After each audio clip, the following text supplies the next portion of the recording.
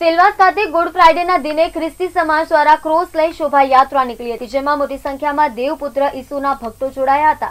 ઈસાઈ ધર્મગ્રંથ પ્રમાણે જે દિવસે ઈસુ મસીહાએ પ્રાણ ત્યાગ્યા હતા, તે દિવસ ફ્રાઇડે હતો. તેની યાદમાં ગુડ ફ્રાઇડે મનાવવામાં આવે છે.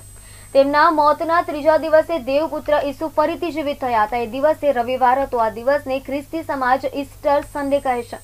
આ શોભાયાત્રામાં સેલવાસના પ્રાચીન રોમન કેથલિક ચર્ચથી નીકળી અને સેલવાસના અનેક સ્થળો પર ફરી અને પરત ચર્ચ પર પહોંચી હતી, જ્યાં ઉપસ્થિત લોકોએ સમૂહ પ્રાર્થના કરી હતી.